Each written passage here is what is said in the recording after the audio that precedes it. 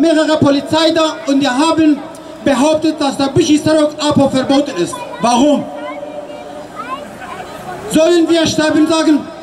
Nein, also soll Sarok Apo leben.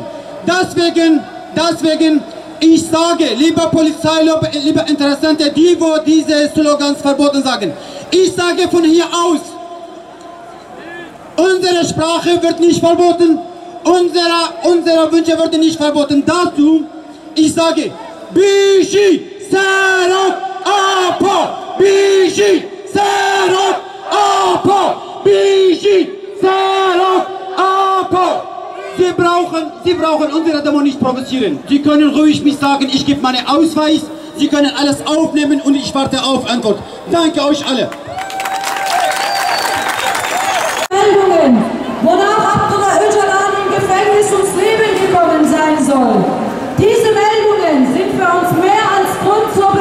Besorgnis. Genossinnen, liebe Genossen, ich grüße euch herzlich von der Marxistisch-Leninistischen Partei Deutschlands, MLPD.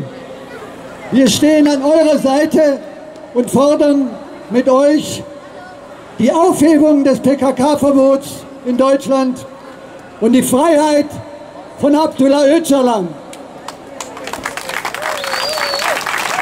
Wir beglückwünschen euch für die Befreiung von Raqqa.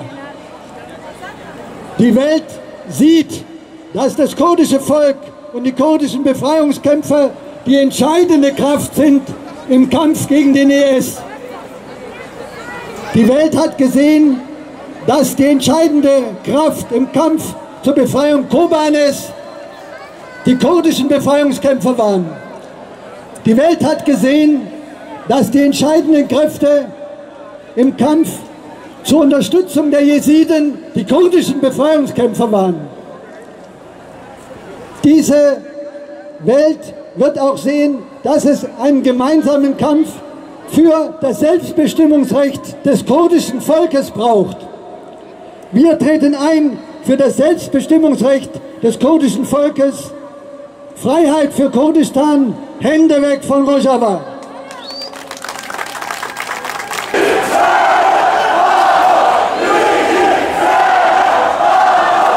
Zusammenarbeit mit dem Erdogan-Regime. Warum werden in Deutschland immer noch und täglich Menschen kriminalisiert, die den Befreiungskampf des kurdischen Volkes unterstützen? Auch in Stuttgart finden Prozesse statt gegen kurdische Freiheitskämpfer. Wir sagen, weg mit diesen Paragraphen 129 A und B für die Freiheit von Öcalan, für die Freiheit aller politischen Gefangenen. Hoch die internationale Solidarität. Internationale Solidarität. Freiheit